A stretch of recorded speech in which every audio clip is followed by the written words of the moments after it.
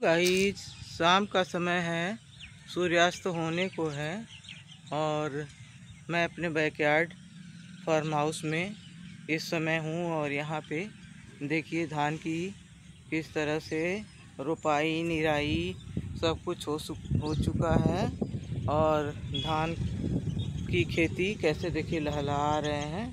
गाँव में बिल्कुल हरा भरा नज़र आ रहा है तो बहुत ही खूबसूरत लग रहे हैं। लहलहाते खेत। तो अभी बारिश हो रही है, इसलिए पौधे काफ़ी खुश हैं। और अभी मैं चलती हूँ अपने किचन गार्डन में, और वहाँ लगी हैं सब्ज़ियाँ तो उनको मैं करूँगी हार्वेस्ट। तो यहाँ पे देखिए लगी हैं कद्दू। तो इस कद्दू को मैं हार्वेस्ट करूँगी। तो देखिए इसका साइज़ सही है। दो केजी के लगभग है और यहाँ भी देखिए लगा हुआ है। तो अभी बिल्कुल हार्वेस्टिंग के लिए तैयार है। क्योंकि अगर मैं छोड़ देती हूँ तो ज़्यादा पक जाएगा। तो ज़्यादा पका हुआ सब्ज़ी स्वादिष्ट नहीं बनती है। और यहाँ पे लगे हुए हैं घिया। तो अभी छोटा है, इसलिए इसको हार्वेस्ट नहीं करूँगी। और इसके अलावा यहाँ भी लगा हुआ है? तो देखिए यहाँ भी लगा हुआ है। तो अभी कुछ दिनों के बाद इसकी होगी हार्वेस्टिंग। थोड़ा बढ़ जाएगा तो। और छोटे छोटे बर्ड्स लगते जा रहे हैं। मेल फूल आजकल ज़्यादा नज़र आ रहे हैं, फीमेल कम है। तो इसको कुछ खाद पानी जब देंगे, इसमें liquid fertiliser mustard cake liquid fertiliser इसमें देंगे। तो इसमें फीमेल फूल आने लगेंगे। तो कई लेखे इस तरह से लगे हुए हैं छोटे छोटे तो ये सूख से गए हैं।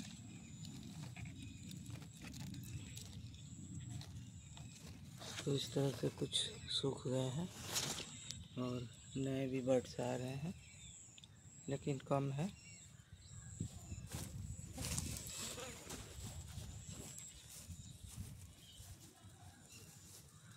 तो कद्दू में बर्ड्स तो काफ़ी लगे, लेकिन बारिश की वजह से सब गल गया।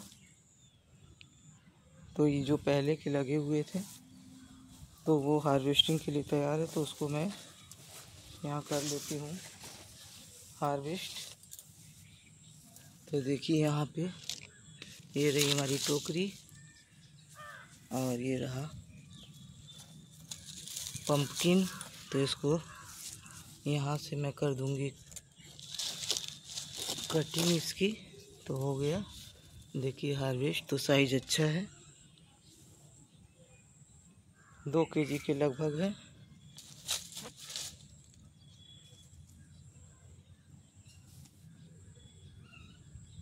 और यहाँ भी लगा हुआ है। तो ये तो कम है, वन के जी से थोड़ा ऊपर होगा।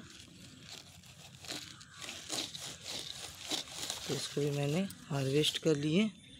तो अभी मेरे पास दो थे, दोनों को हमने हार्वेस्ट कर लिए। और यहाँ देखिए लगे हैं, हमने लगाए हैं लेमन ग्रास। तो यहाँ से मैं थोड़ी ले लूँगी इनकी पत्तियों को। तो इसका चाय बनाती हूँ। प्योर इसको सिर्फ़ उबाल के आठ दस पत्तियाँ उबाल के दो कप चाय तैयार हो जाता है।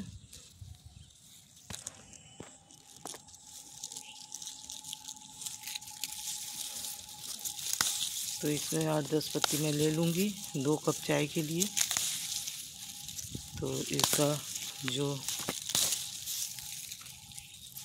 बेनिफिट है, इसमें विटामिन ए पर्याप्त मात्रा में है। इसके अलावा भी काफ़ी कुछ इसमें होता है। तो इससे अगर इसको यूज़ करते हैं तो विटामिन ए की कमी पूरी हो जाती है। तो हमने ले लिया और यहाँ देखिए लगे हैं गुआवा। तो कैसे देखिए? प्रोटीन फ्लावरिंग सब हो रहा है इसमें। इसके पहले भी लगा हुआ था। लेकिन पछुआ हवा की वजह से सारे झड़ गए। अभी भी सभी डालियों में लगे हुए हैं। तो ये बारोमासी है। तो फिर इसमें देखिए आने लगे, नहीं तो जो पिछली बार का था, वो अब तक पक गए होते हैं, लेकिन पछुआ हवा चलने की वजह से सारे झड़ गए। तो देखिए फिर निकल आए नए नए तो देखिए यहाँ पे अमरूद लग भी चुके हैं। तो काफ़ी लगे हैं। बस दो साल, दो महीने ये पुराना है। तो आपको कैसा लगा वीडियो? पसंद आए तो लाइक सब्सक्राइब कमेंट करना ना भूलें। Thank you for watching